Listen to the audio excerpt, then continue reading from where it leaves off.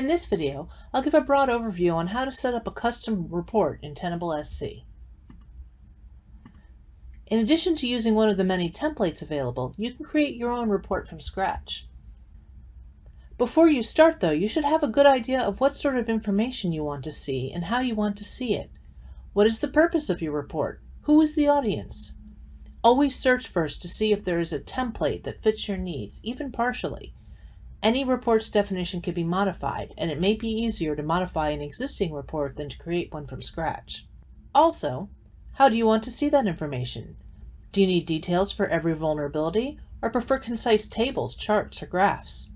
If the latter, consider creating a dashboard first for what you need. You can always export dashboards to a PDF format. Custom reports can be created for PDF, CSV, or RTF output. The CSV is the simplest. Just name your report, specify the filters you want and what display columns you want to output, and set up either the schedule or run it on demand. You can also, of course, select existing queries to quickly populate your filters. And then you can add additional filters if needed.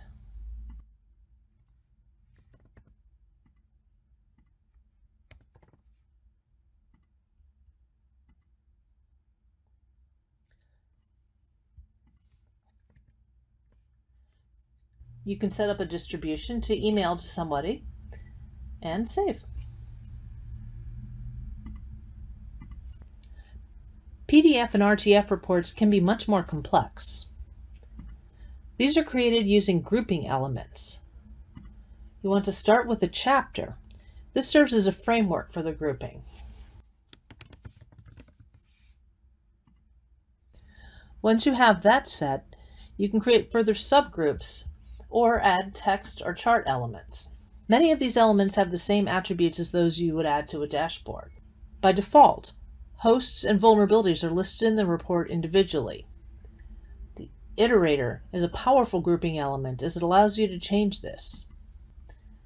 Here, you can specify how the report groups its data by host, by port, or by vulnerability.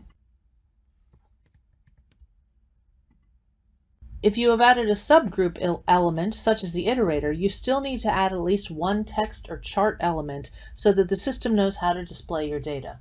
Generally with iterators, you want to add a table.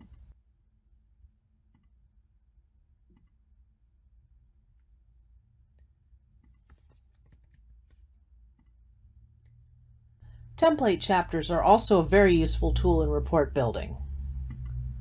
These are made of pre-made groupings that cover a wide range of subjects.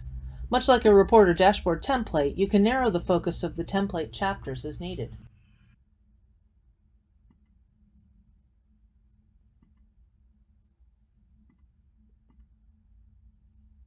Whether you build your report from the ground up or partially use templates, Tenable SC has many reporting options.